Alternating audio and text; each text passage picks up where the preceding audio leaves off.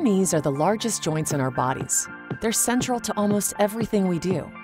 So if you or a loved one is suffering from arthritis or an injury to the knee, everyday activities such as walking, sitting, or kneeling can feel debilitating. But you're not alone. It's one of the nation's most common causes of disability and impacts the lives of 54 million people in the United States alone. One possible treatment option for knee pain is total knee replacement, a procedure that involves removing the damaged bone and cartilage, then replacing the knee joint with an implant to reduce pain and restore the motion and function of the knee. Today, knee replacement surgeries are being combined with a new technology, and it's changing the way knee pain sufferers are treated.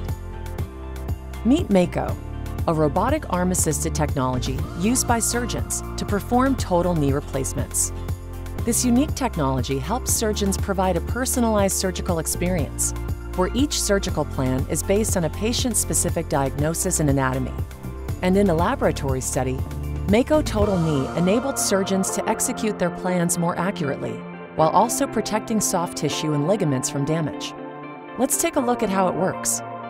It begins with a CT scan of the knee joint. A CT scan is a series of x rays taken at different angles that can help surgeons see things that they can't typically see with an x ray alone. The CT scan data is used to generate a 3D virtual model of the patient's unique anatomy. This virtual model is loaded into the Mako system software and is used to create the personalized preoperative plan. Prior to surgery, the surgeon reviews the plan size and placement of the implant, and if necessary, modifies the preoperative plan in order to better position the implant to the patient's unique anatomy. During surgery, the surgeon locates points on the knee in order to register the anatomy in the Mako system.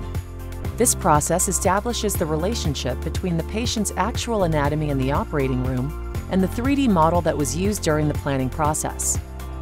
This step helps ensure the procedure is executed to plan. Once the anatomy is registered to the 3D model, the surgeon has the flexibility to modify the preoperative plan based on their assessment of the patient's anatomy and range of motion. Then, the surgeon guides the robotic arm to remove the arthritic bone and cartilage from the knee. A virtual boundary provides tactile resistance to prevent the surgeon from removing more than just the arthritic bone identified in the preoperative plan.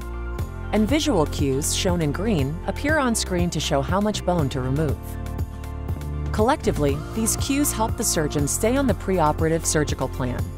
With the diseased bone gone, a knee implant is inserted into the joint space, and once the surgeon is comfortable with the knee's movement, it's off to the recovery room to begin the journey towards strengthening the knee joint.